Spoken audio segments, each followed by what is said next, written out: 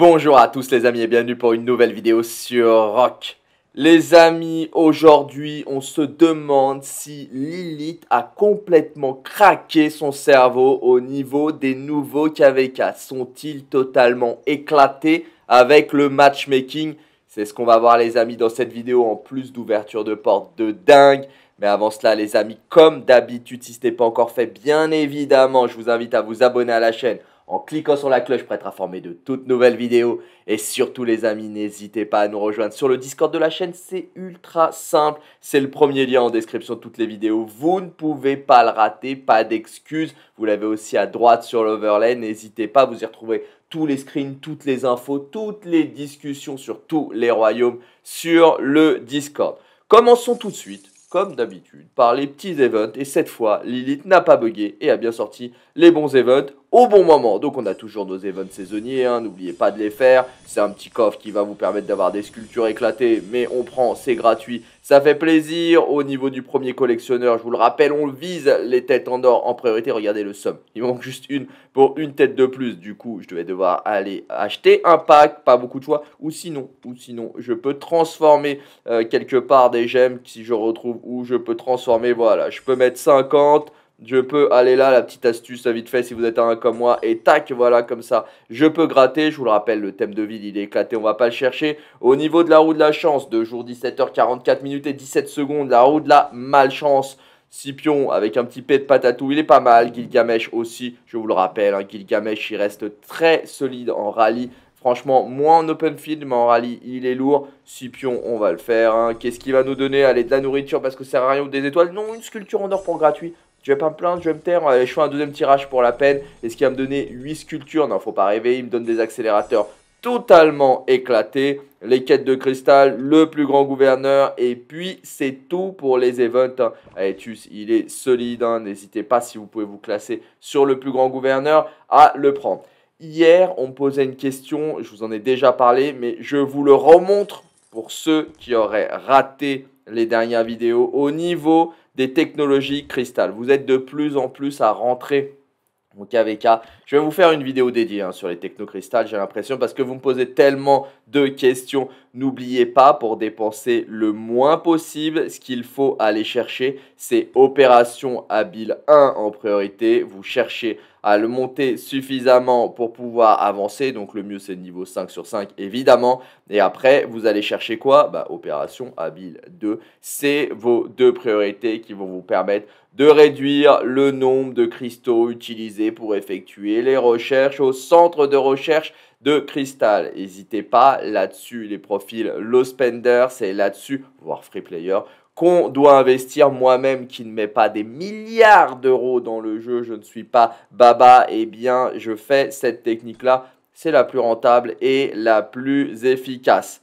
Parlons à présent KVK, les amis, avec les nouveaux KVK qui ont pop. Et aussi, on a vu hier hein, une ouverture dans des conditions de live hein, sur la porte de ce KVK de ouf. Mais avant cela, regardons comment mon KVK évolue.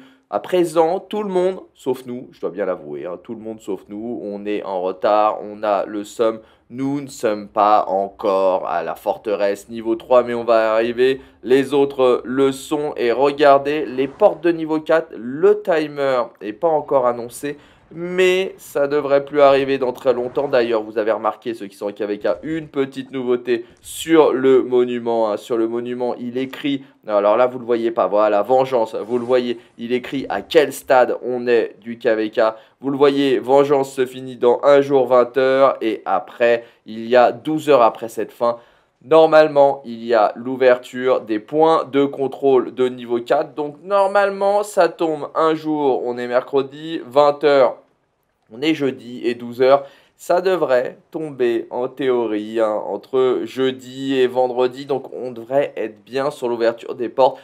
Même si nous, en Europe, c'est cool, même en France, c'est un pont pour certains, c'est férié le jeudi pour presque, enfin pour beaucoup de monde, mais malheureusement, on n'aura pas de zone de combat, mais je vous ferai suivre l'ouverture des portes, hein, si l'heure est bonne, hein. je vous ferai même un live avec Kevin sur cette ouverture de porte en zone La Havane. Voilà pour notre KVK, hein. rien pour le moment, pas de dinguerie, mais ça va venir les amis. Parlons des autres KVK avec le pop de la nuit le pop What the fuck Est-ce que Lilith est totalement éclataxe au troisième sous-sol? Regardez, on attendait tous le 1860 contre le 1846 avec le 1365, le 1093, etc. etc.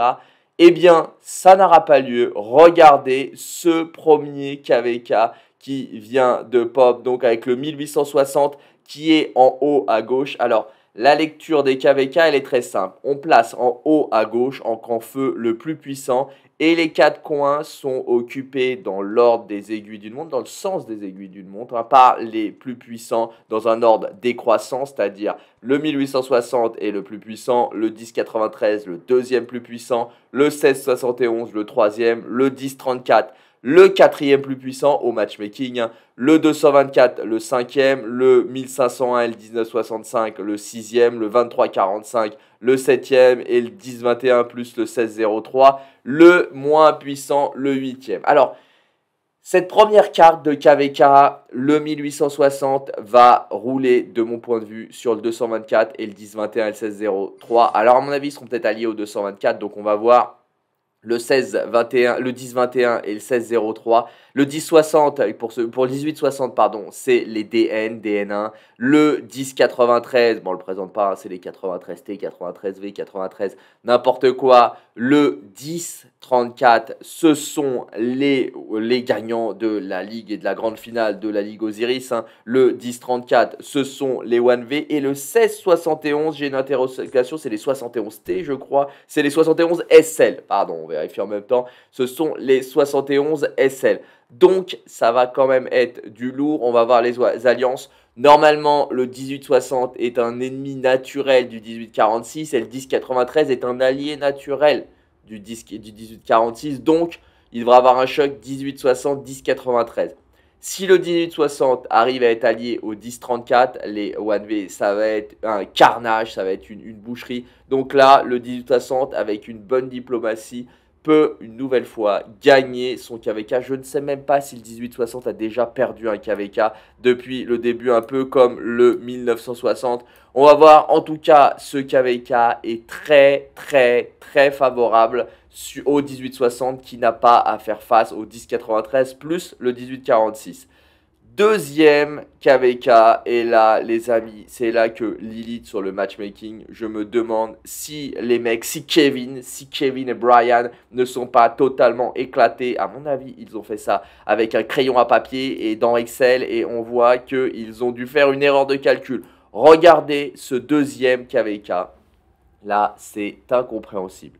On se retrouve avec déjà le plus puissant en haut à gauche le 1365. Alors oui, le 1365, c'est un royaume extrêmement puissant, il n'y a pas de souci, mais de là à dire que le 1365 est plus puissant avec les GST que le 1846, non, là, c'est exagéré. Ensuite, on a le 23-29 et le 23-30. Alors, c'est pas le deuxième plus puissant. Le deuxième plus puissant, c'est le 10-20 et le 23-42. Le cumul des deux. Donc, 10-20 et 23-42, il n'y a pas d'alliance de dingue hein, sur ces royaumes-là. C'est des royaumes de notre impérium. On a les Fox, comme je le vérifie en même temps. Et le 23-42, ce sont, ce sont, on va voir tout de suite, ce sont les OH42. On ne les connaît même pas en Ligue Osiris. Alors, c'est sûrement des royaumes qui sont puissants, mais aucun des deux n'est impérium et les deux sont réunis. Regardez d'ailleurs, ce qui est choquant, c'est que tous les royaumes sont en binôme, sauf le 1365 et le 1846.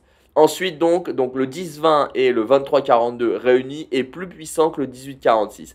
Ensuite, on a le 18-46, hein, qu'on ne présente plus, avec les Weeb, avec euh, les, les LIV, avec toutes les alliances, euh, pas les, LIV, euh, les Lib, toutes les alliances qu'ils ont sur leur royaume, vraiment très très gros royaume. Et ensuite, donc le dernier plus puissant, le 1846 n'est que le troisième en puissance. Hein. On a le 1044 et le 2052. Donc le 1044, je n'ai jamais entendu parler, c'est les 44 L. Le 2052, pareil. Qui sont le 2052 L'Alliance Med, c'est les AMG, les mecs qui travaillent chez Mercedes. Hein. Et on a ensuite le 2329, 2330, 2255, 2378, 1759, 2355, 2256, 2339 ce KVK est franchement, de mon point de vue, totalement éclaté. Le 1365 et le 1846 vont, à mon avis, n'hésitez pas à mettre en commentaire votre avis ou sur le Discord, vont, à mon avis, rouler sur tout le monde. Des deux côtés. Hein. Alors, si on prend le 1365, du côté orange et du côté violet, ils vont les désintégrer. Le 1846, des deux côtés, ils vont les désintégrer. Donc, ce qui est sûr sur ce KVK là, le 1365 et le 1846 ne seront pas alliés, ils vont forcément faire des alliances avec les autres royaumes autour, et encore, c'est même pas sûr. Je ne sais pas ce qui va se profiler, mais il est possible qu'on ait un 1, 1365, versus 1, 1846, versus tout le reste. Et je pense que le gagnant sera le 65 ou le 46, parce qu'ils vont rouler sur tout le monde.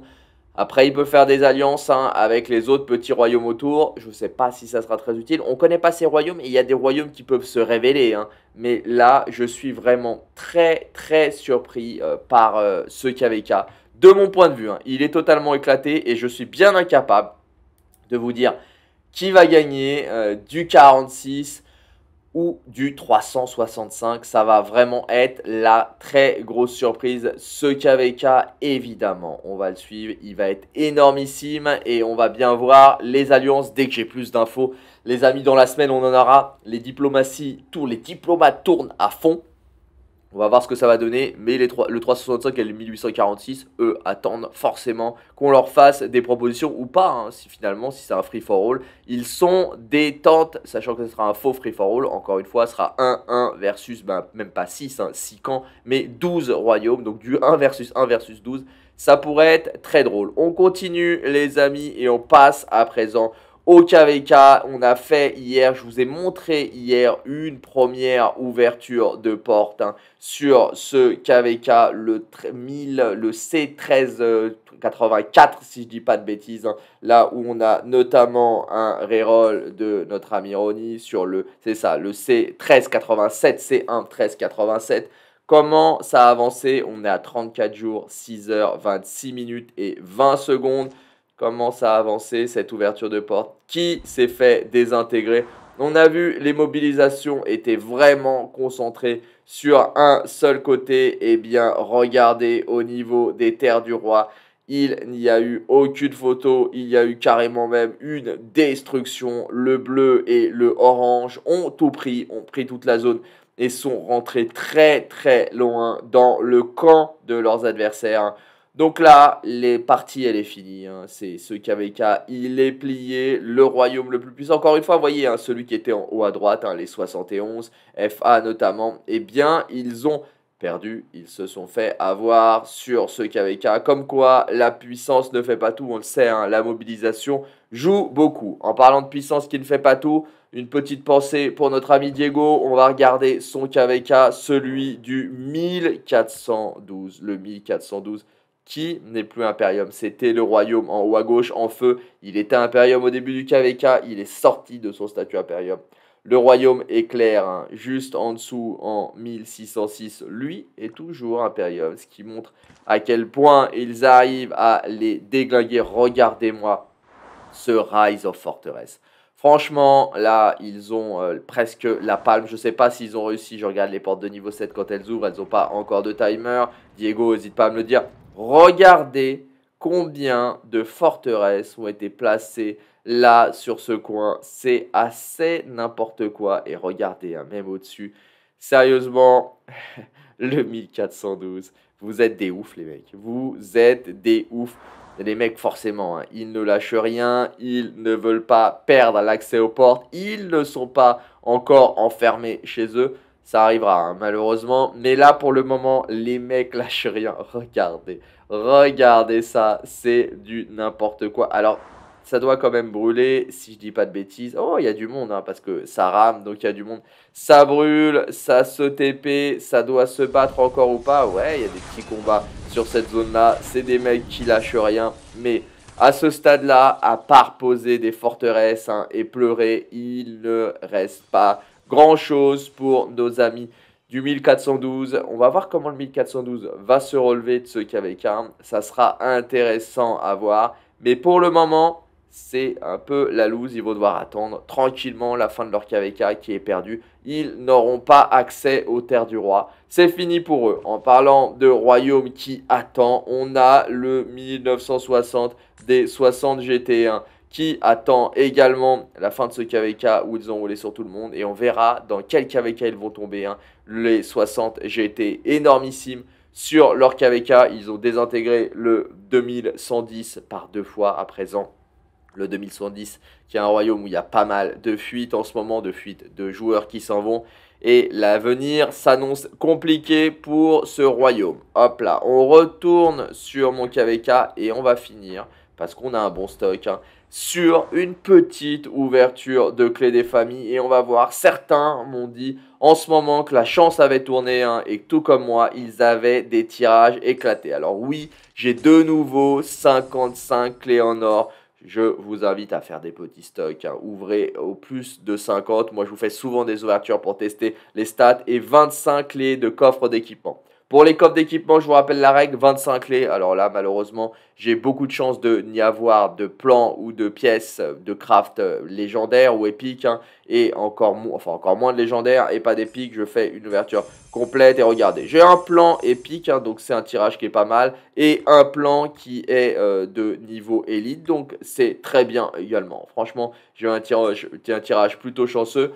Pour le coffre en or, je vous rappelle la règle, hein. le moins de commandants de farm possible, le plus de sculptures des autres possible, 55, 55 têtes, 55 clés, il faut que j'ai environ 55 sculptures. Si j'en ai moins, c'est la loose selon le nombre de farms que j'ai. Si j'en ai plus, c'est de la balle atomique. Mais c'est très rare, vraiment. On a l'impression que l'élite fait n'importe quoi au niveau du hasard. Ce qu'on va faire, c'est que vous voyez, j'ai 5 clés. Je vais en ouvrir 5 en solo, voir si j'ai plus de chance. 1, 2, j'en ouvre une deuxième. On va en faire 5 solo, va voir s'il va avoir quelque chose.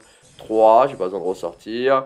4, j'ai que dalle hein, pour le moment. Une étoile en or, les étoiles, c'est tout naze. Et 5, vous voyez, 5 tirages en carton. Donc déjà, 5 clés, rien du tout. Maintenant, je vais faire un tirage complet et tout ouvrir d'un coup. On regarde, on ouvre tout d'un coup et vous le voyez déjà, je n'ai aucun commandant plein.